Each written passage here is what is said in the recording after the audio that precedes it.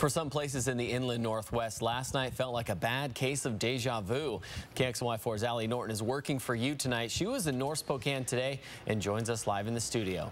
Aaron, and some are finding themselves doing the same sort of cleanup they did two weeks ago in North Spokane.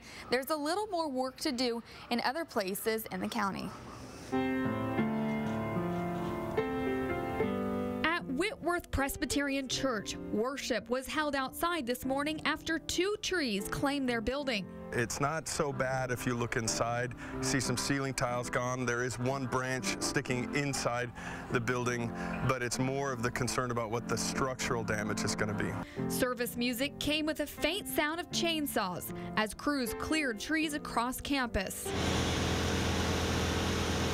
A scene all too familiar Whitworth President Beck Taylor says he thought they dodged a bullet with the last storm. Uh, we had a few trees down the first storm, very minimal structural damage. This storm, of course, was a lot worse. Outside the student dining facility, it's much like the rest of North Spokane, a tree graveyard. At least 10 full-grown pines were uprooted in this area. On the other side of campus, trees found their new homes on top of dorm buildings. Luckily, no one was injured. Could have been a lot worse, and we've got time to clean up before um, our new students arrive in late August. Take a quick trip outside of campus and you'd find yourself in a cluster of chaos. The power outage forced some places to close down that pride themselves on 24-hour service. This sign was posted at Jack in the Box on Division and Hawthorne this afternoon. It also created a traffic nightmare on busy streets.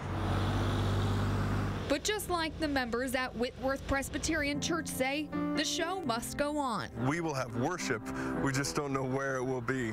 In the meantime, let the work begin. And President Beck Taylor says that students moving in, moving in at the end of the month shouldn't be affected. They say they may have to do some shuffling, but they should manage. They also said that despite all of the damage that is done at the campus, the activities that are scheduled should resume when they are clearing. Reporting in the studio tonight, I'm Allie Norton, KXLY4 News.